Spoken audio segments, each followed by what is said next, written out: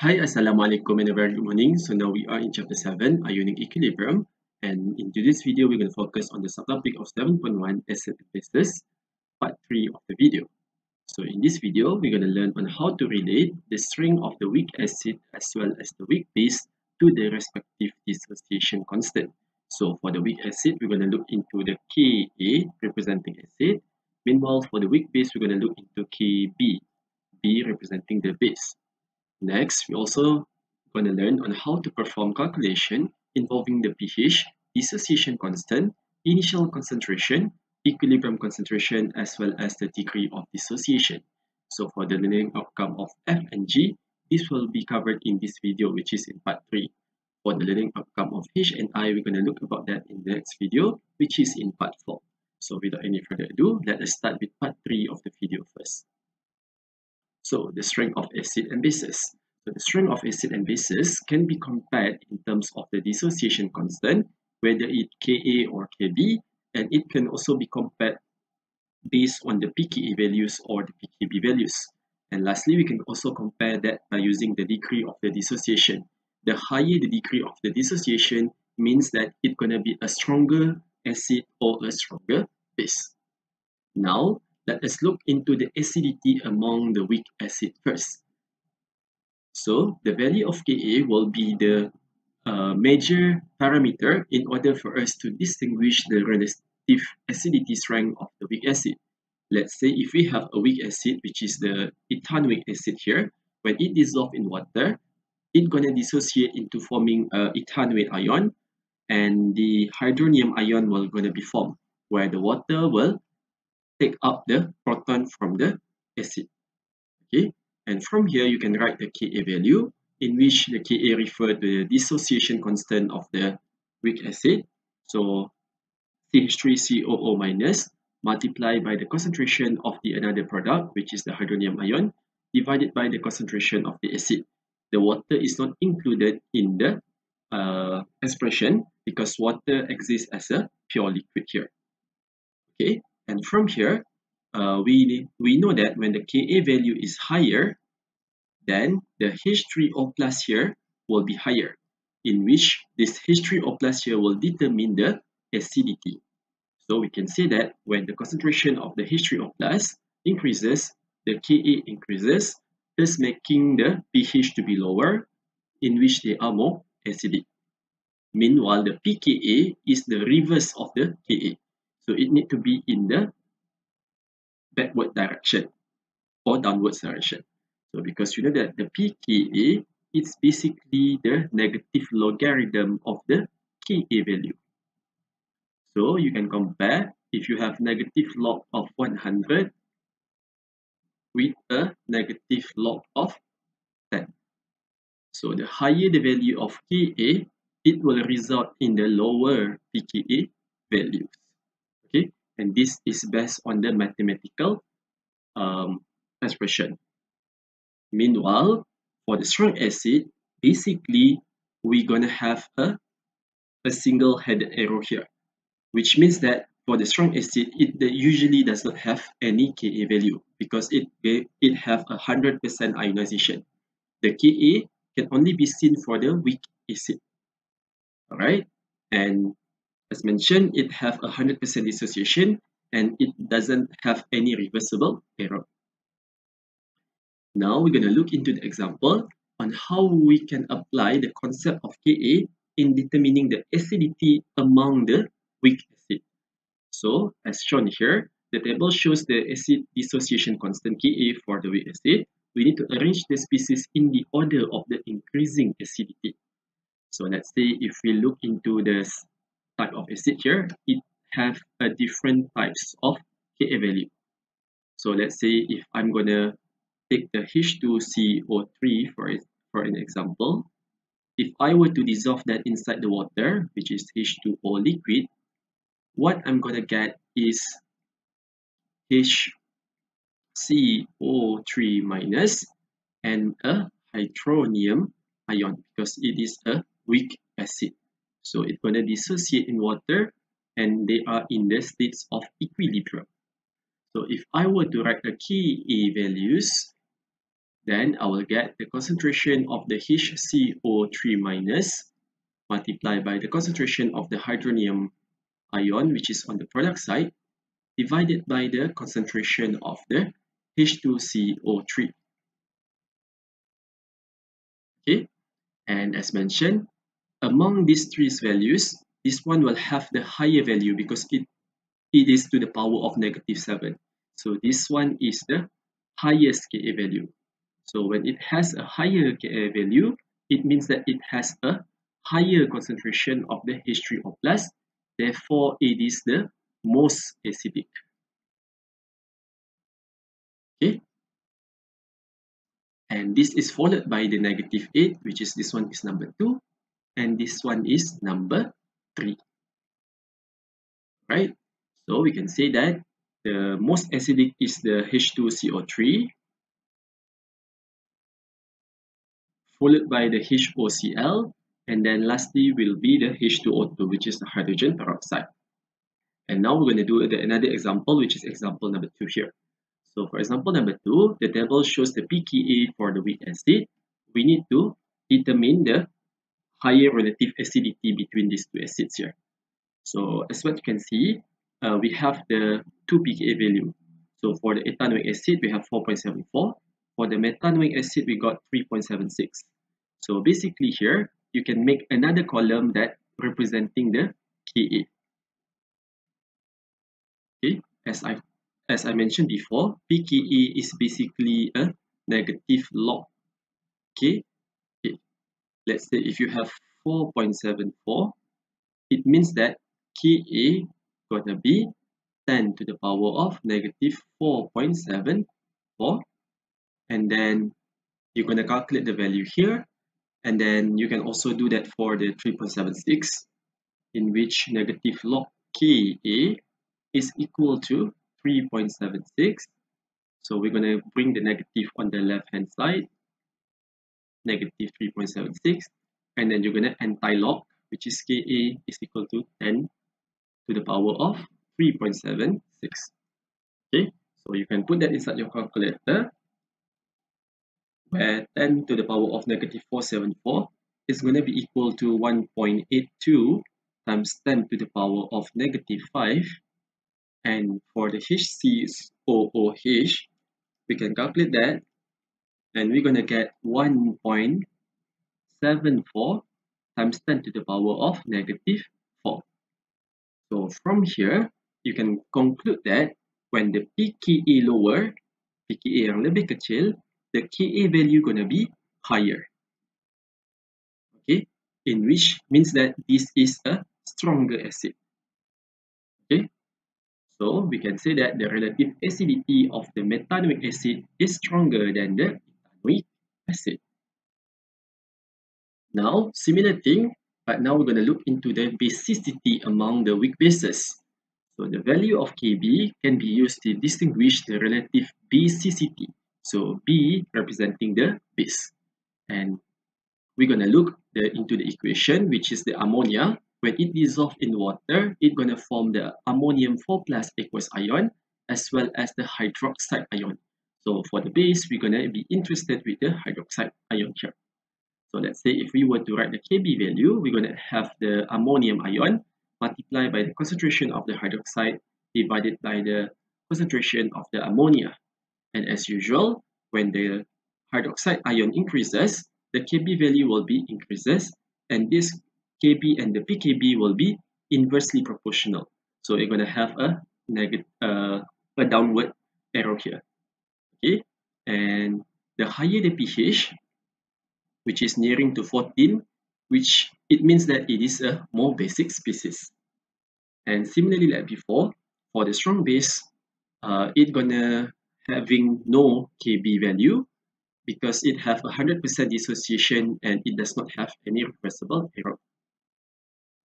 So now we're going to look into the example. So the table shows the base dissociation constant Kb for the weak bases. We need to arrange the species in the order of the increasing basicity. So similar to the acid, when the Kb value is higher, it means that it's going to have a higher concentration of the hydroxide ion since we are talking about the basicity. So as what you can see here, the 10 to the power of negative 4 going to be the having a highest Kb value followed by the ammonia and then the N2H4. So we can say that the ethylamine here will have the highest basicity followed by the ammonia and then followed by the N2H4. So here are the most basic. And now for the example number 2, the table shows the pKb of the weak bases. We need to identify which of them has a higher relative basicity. So as I mentioned here, the Kb and the pKb is inversely proportional.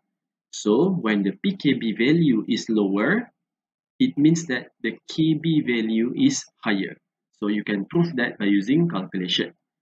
So when it is lower, the Kb is higher, which means that the hydroxide concentration to be higher as well. So this is to be higher uh, basicity in comparison to the phenylamine here. So we can say that the relative basicity of the ammonia will be higher than the phenylamine, which is the C6H5NH2. Now, we're going to learn on how to solve problem involving weak acid as well as the weak base. So there are two general types of the problem. First, if we are given equilibrium concentration, we need to find the Ka or Kb. Or in other situation, we can also be given the Ka or Kb value and some other concentration information. But then we need to find the concentration at equilibrium. So these are the two general problems that we are need to be dealing with. So in order to solve the problem, as usual, we need to use the ice table. So here are the ice table for the weak acid. So maybe at the beginning, you are given a certain concentration. So when there is a change, because the stoichiometry 1 is here, the reactant will be deducted with minus x. The product will be increased by 1x. The same goes to the other constant, the other of the products here. And at the equilibrium, since we are talking about the reversible arrow, we're going to get the C minus X, X and X. And from here, you can determine the Ka or the Kb values depending on the question. And here are the some tips. So in this uh, chapter, it let's say let's say if your Ka or Kb value that is being given as a value of a times 10 to the power of negative 5 and smaller. So let's say 10 to the power of negative 6 or certain value to the power of negative 7, you can assume that your C minus X is equal to C. Okay? Or when you have a Ka or Kb value that is higher than 10 to the power of negative 4 or larger, let's say 10 to the power of negative 3 or 10 to the power of negative 2, then you can do the calculation as usual, which is using the quadratic equation. Okay, so here is to make your life easier. So let's say if you have negative 6 or negative 7, you can simply assume. So you can uh, cut the step to be even faster. Or you can also use the quadratic equation if you want. Okay, but the assumption method will be much faster in my opinion. To understand more about how we can apply this ice table and tips, let us look into the example. So for example number one, we need to calculate the pH of the 0.036 molar nitrous acid, which is the HNO2 solution. So the Ka value here is given to be 4.5 times 10 to the power of negative 4. So for the nitrous acid, it is an example of the weak acid. So first thing first, uh, what we can do is we're gonna place the HNO2 dissociation inside the water. So we can write the equation in which the HNO2 aqueous dissolve in water and it is in equilibrium with its, with its hydronium aqueous ion as well as the NO2 2 minus aqueous ion. Okay, so one of the hydrogen is being transferred into H3, H2O to form H3O plus. And from here, uh, you need to find out because the question asks us to find the pH so pH is related with the concentration of the H3O+. So we need to find the concentration of H3O plus at equilibrium. So we're going to use the ice table. So we have the concentration initial, concentration change, and as well as the concentration at equilibrium, which is in the unit of molarity. So initially, the concentration of the nitrous acid is given to be 0.036. Meanwhile, for the concentration of the ions at the beginning of the reaction is 0. For the liquid water, because it is in the liquid state, we can ignore that in our ice table. Okay, but as time goes by, uh, the concentration of the reactant will be reduced by minus x. Meanwhile, for the ions which acting as a product will be increasing by plus x and plus x respectively. And at equilibrium, we're going to get 0 0.036 minus x, x, and x. Okay, and from here, you can make up your Ka expression in which Ka is equal to the H3O plus multiplied by the concentration of another product which is NO2 minus divided by the HNO2.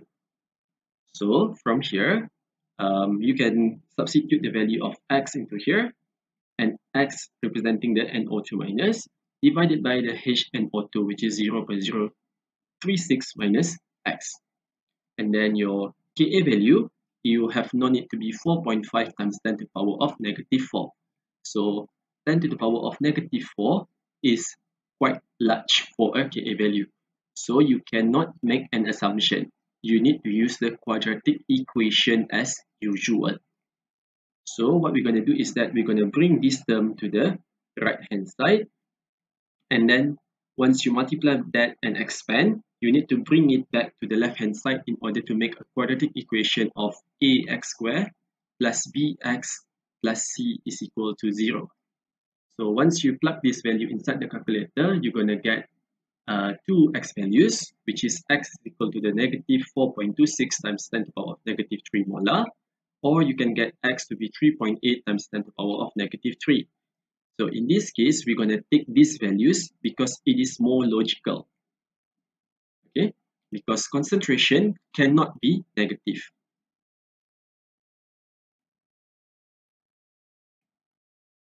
And that is why we're going to take this value here because it is more relevant. So we can say that the H3O plus is equal to the concentration of X and we can substitute this value which is this value is in, in the unit of molarity inside this uh, pH value because we need to find the pH.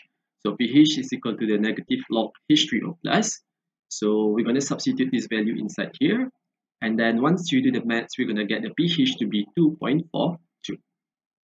Alright. Now we're going to look into the next example. In this, in where we're going to calculate the pH of a 0.20 molar solution of the HCN. And then the Ka value here is given to be 4.9 times 10 to the power of negative 10, which is quite small. So HCN here is an example of the weak acid. So first thing first, make an equation HCN dissolving inside the water and it's going to be a reversible arrow. So when the weak acid dissolves in water, the H is going to be transferred into H2O to form H3O plus aqueous ion, and it's going to be Cn minus here. And since we need to find the pH, we need to find the concentration of the H3O plus. Okay. So for this reason, we need to use the ice table. So ICE, and then at the initial stage, we have the concentration of HCN to be 0.2, for the ions, it, it's going to be 0 and 0. For the liquid water, it can be ignored for the ice level. So for the changes, uh, it's going to be, the reactant will be deducted by minus x. The product will be increasing by plus x and plus x according to its stoichiometry here. So at equilibrium, we're going to get 0 0.2 minus x. We got x and x for the respective ions. So as usual, we can uh, write the Ka expression so the Ka is equal to H3O plus multiplied by the Cn minus divided by HCN, which is the reactant. And then we're going to substitute the H3O plus value at equilibrium, which is x, Cn minus, which is x, and then HCN to be 0 0.2 minus x. Okay, and then uh, the Ka is equal to 4.9 times 10 to the power of negative 10. And then, uh, since we know that our Ka is times 10 to the power of negative 10, which is very, very small, we can assume that 0.2 minus x going to be equal to 0.2. So here you can make an assumption. Okay, so when you make an when you make an assumption, you can make the calculation much more easier. Okay, so you just multiply it on the right hand side and then you need to just square root the answer. So you're going to get the x value to be 9.9 .9 times 10 to the power of negative 6 molar. Okay, where x here refer to the concentration of the H3O plus or the H plus. Okay, and and this is where we're going to see how the assumption can save your time. If you wanted to do a quadratic, Okay, if you wanted to do a quadratic equation, you can do that and you can also get to the similar answer, but sometimes it is longer. Okay, and this is how the assumption can help you. All right, so uh, let's get back to the concentration of H+. plus. So you can use that to calculate the concentration of the pH, in which pH is equal to the negative log H+. plus. So we're going to substitute the value of H plus into this equation. And then we're going to get the pH value to be 5.2. 0. Alright? So now for the example number 3, the base dissociation constant for the ammonia, which is NH3 aqueous, is it is 1.8 times 10 to the power of negative 5 molar. So we need to calculate the concentration of the hydroxide ion, the pH as well as the percentage dissociation at equilibrium. So we are given the initial concentration of ammonia is 0.15 molar. So the ammonia here is a weak base. Okay, so from this, um, we can write the equation first when it dissolves in water in which the ammonia when dissolved in water is going to form uh, ammonium plus aqueous ion as well as the hydroxide ion. And since we need to find the concentration of hydroxide ion, we need to do the ice table. Okay, and initially the concentration of the ammonia given is 0.15. The water can be ignored in the ice table because it is in the pure liquid. And then for the ions at the initial stage, it's going to be 0 and 0 respectively. And for the change, it's going to be deducted by minus x for the ammonia because it is on the reactant side. For the product side of the ions, it's going to be increasing by plus x and plus x. And at equilibrium, we're going to get 0.15 minus x, x and x. And from here, we can make our Kb expression in which we have the NH4 plus multiplied by the concentration of the hydroxide ion divided by the concentration of the ammonia which acting as a reactant. So we have X and X here. And then for the ammonia, it's going to be 0 0.15. And we're going to make an assumption because our Kb value is given to be 8 times 10 to the power of negative 5, which is very, very small. So we can assume that 0 0.15 minus x value going to be 0 0.15. So uh, we can make x multiplied by x. This value here is basically equal to 0.15 so it will make your life easier and then you just copy back the value. So you're gonna multiply that with 0.15 and then you're gonna solve the x value in which you get your x to be 1.64 times 10 to the power of negative 3 molar and this x here refers to the concentration of the hydroxide ion and from here you can calculate the value or the POH first okay, because POH is equal to the negative log of the hydroxide ion. So we're going to put it inside here. And then once we do the maths, we're going to get the POH to be 2.79. And uh, we can find our pH by relating the equation of pH plus POH is equal to 14. So we are interested in the pH. So we can find the pH by uh, deducting 14 with 2.79. So we're going to get the pH for this reaction to be 11.21, which is very, very logical because ammonia is a weak base. 14 is a strong base, but for ammonia, it's going to be around 11. So it shows that it is a weak base and it is consistent with the species that we are having. And we also need to find the percentage dissociation at equilibrium. So we're going to use the formula of the percentage of dissociation, which the concentration dissociated means that is it is the x value, and the concentration initial refers to the ammonia at the initial stage, which is 0.15. So we're going to have 1.64 times 10 to the power of negative 3 divided by 0.15 and since we are talking about the percentage then we're going to multiply it by 100%. So once we do the maths, we're going to get the percentage of dissociation to be 1.1%. So 1.1% is quite logical because weak base only dissociate partially in water. Alright, so I think that's all for today's video. See you again some other time. Bye!